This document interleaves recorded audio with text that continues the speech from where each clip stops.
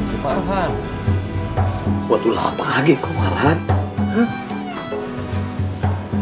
Apa yang Farhan lakukan?